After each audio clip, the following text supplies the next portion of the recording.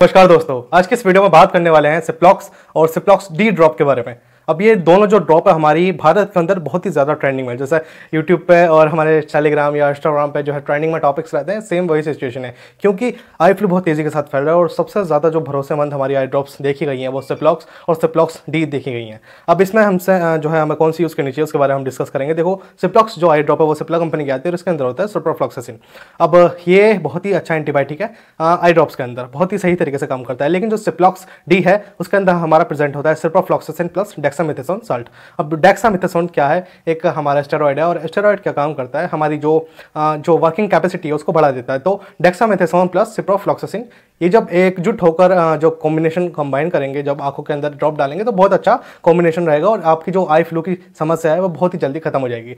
लेकिन सबसे पहले आप शुरुआत करो सिप्लॉक्स आई ड्रॉप से।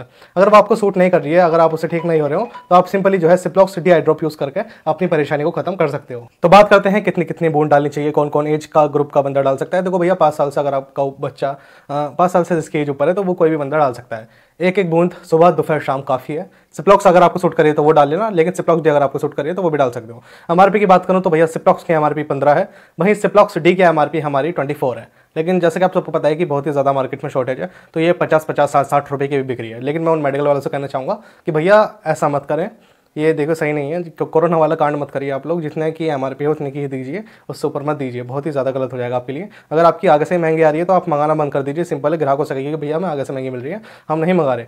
क्योंकि अगर आप एम आर पी से ऊपर बेचोगे तो ग्राहक को तो ही लगेगा कि मेडिकल वाला बंदा मार्जिन मार रहा है। तो वो चीज़ अच्छी नहीं लगती। फिर समाज में गलत इमेज बनती है मेडिकल वालों की तो वो चीज़ सही नहीं है। बाकी आप खुद समझदार हो और बाकी कोई सवाल पूछना हो तो कमेंट करके पूछ सकते हैं। चलिए बाय